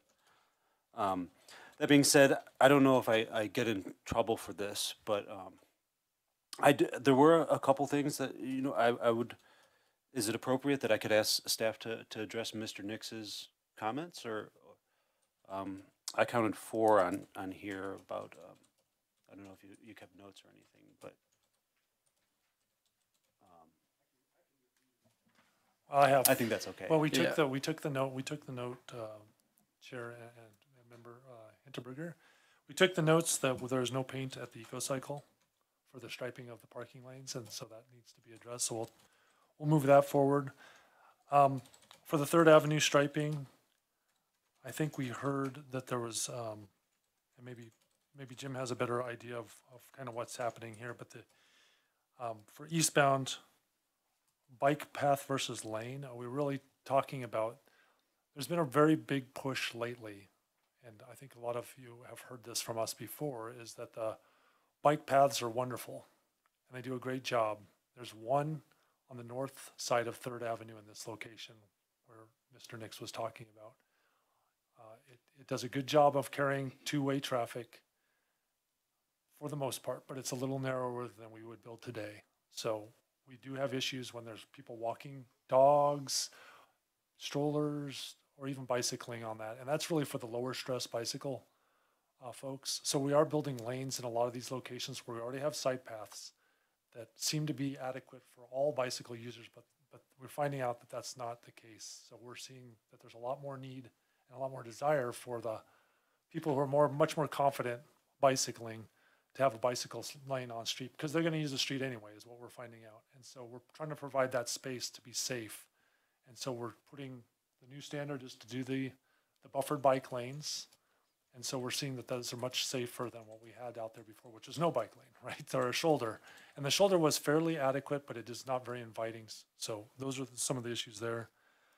Um, we have been talking about overpasses for railroad tracks for a long time, and this, I think the, the original sales tax was really meant to start looking at those things, but as we've evaluated these over time, we're seeing that the over, or the underpasses for the railroad track, or the railroad tracks are just not feasible or realistic, especially when we start looking at the local businesses that would be impacted by what we're doing. I mean, you really do have to provide a frontage road system plus the underpass for a lot of these businesses to still have access. So you know how much we go through with just loss of parking in front of some businesses for some different ways of, of trying to mitigate some of these issues. So um, those are the things that I have for that. I'm not sure about the um, the comment about the access into neighborhoods. I'm not sure if you've driven it more than I have, Jim, but um, I'm not sure we'll have to, we'll follow up with Scott and just try to find out a little bit more about what that means. Um, What am I missing? Sixty-six. Phil? We do have PEL or plant, oh, oh, go ahead. Th- th- There is one additional item that will take some follow-up from staff. Uh, Mr. Nix referenced their striping changes on eastbound Third Avenue as you approach State Highway 119. A- At a staff level, we'll sit down and we'll have a more in-depth discussion about, about those changes. And Mr. Nix did mention, um, why aren't we doing four lanes on fifty-two and sixty-six? So both of those state highways have had, um, planning and environmental linkage studies, which is almost, it's, it's get, it's kind of like an environmental, um, evaluation, but it's just a little less than that, but it, it sets us up for all the environmental work that has to happen. And sixty-six is being looked at as a four-lane facility, at least from, um, basically Hover Street on the west side, uh, all the way through into Weld County to I-25, and then probably beyond as a four-lane facility into Firestone and Mead. So that is being looked at on State Highway 66. 52 is a little different animal. It's, it is something that where Boulder counties had more say in, in it, and they do not want to see a widen, they, they don't, they don't, they don't have road widening projects per se unless it is for transit or for, uh, other means. So they do subscribe to Mr. Wickland's, um, thought, thoughts with, as far as widening and only for transit, making transit better. But east of County Line Road, I do believe that Weld County has some ideas of how to add some additional laneage for that portion of roadway. But it's all in, it's all online. We can send you those links. Thank you, everyone. That's great. Just one last comment on, on State Highway 66. The city has been working with CDOT and Boulder County um, for um, a, a project for widening of State Highway 66 from Main Street to the, to the west, or to the, yeah, to the west to Hover. Uh, That is currently in design. Um, We are uh, working our way through the process. Uh, It is not funded for construction at this time.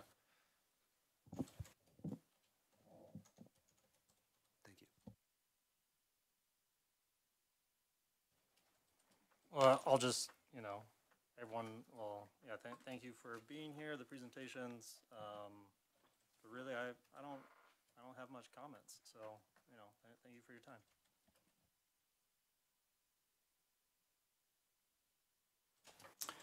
I will add my thanks to everyone who's presented to the board this evening, but uh, I've made my comments and have asked my questions and appreciated the answers you've given me.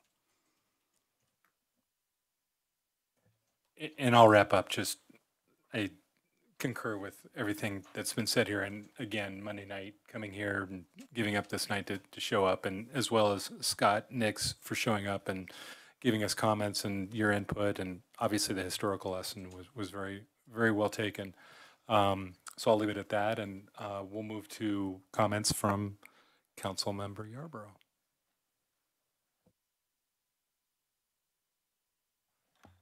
Thank you. Well, I hate I missed the historical piece. Man, that's the key.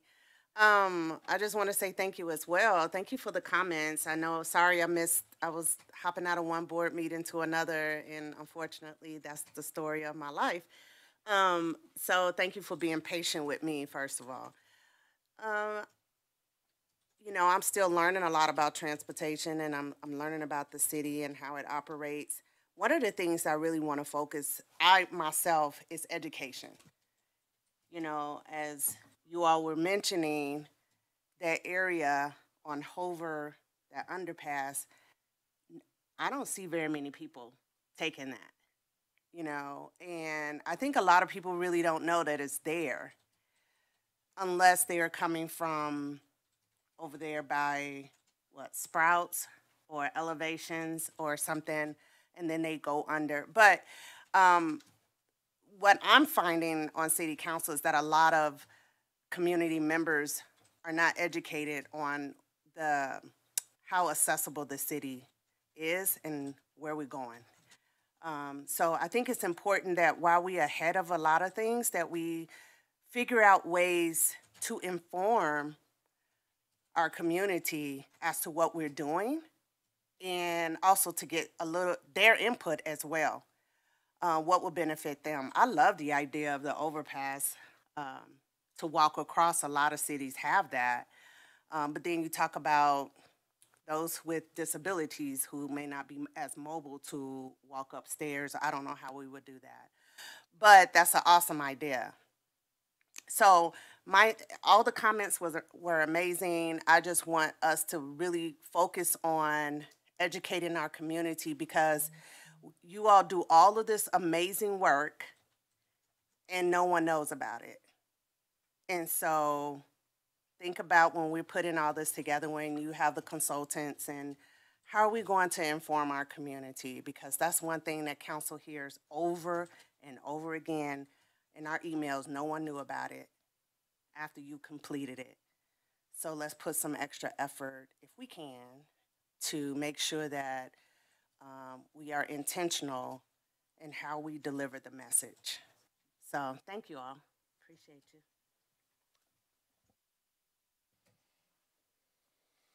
Okay, um, items for the upcoming agenda, I guess our next scheduled meeting is going to be September 12th. Yes, and, and Chair, I failed to put in some items underneath that category, so I apologize. I was kind of going through the meeting, trying to figure out what we've been talking about, see if you guys have had any breaks yet, and I'm seeing that you've not had, except for maybe the May meeting, where some of you still had to work and uh, help with recruitment here for the TAB board. Um, Otherwise, we've had meetings every month this year so far, so um, we'll take a look at what, what's coming. We had some things that were supposed to come up that aren't gonna be ready in time, one being the crash report, just because we're missing some data. And we can't put together a good report until we have that for you. We usually put that together for you in September. So, uh, give us a little time on that. That'll probably be fourth quarter before we bring that back to you. Um, we also had, we want, we do want to get a formal TIP recommendation from this board to city council on the two projects that we do know about. One being the 21st Avenue Main Street underpass design study. Lot- Lots going on there. And so we, we do want to, now that we know that there's a high probability of us getting approval for that, we'd like to get your recommendation, the board's recommendation, to take to city council to get their recommendation to spend the money on it and provide that, that level of funding. So that and the County Line Road project that I spoke about earlier too, to add the, the shoulders and the bike lanes to that piece, that it's under, under, I guess they're reviewing the consultants at this point to find out which consultant will actually get the job to do the design work on that. We are going for funding on that. So those are the two things that we'll need from you, September, October. Um, and I've just been going through the other list just to make sure we're hitting all your work plan items for this year. And we typically have that annual meeting in, sometimes we say July, but it doesn't seem to make sense to have an annual meeting in the middle of the year when we kind of set your work plan in January. So, uh, just making sure we're working through that work plan for you. But those are the two, oh, and then there's the Sugar Mill Steam project that I think the project manager for that project wants to come back in front of this board either September or October. So again, we're thinking about how we give you a break, but we want to certainly get the work done. So uh, we'll let you know uh, as soon as we can get the items together, whether what's going up in September. Thanks for my lengthy conversation about that. No, thank you. And I guess we would need a, um, what, a motion to adjourn our meeting.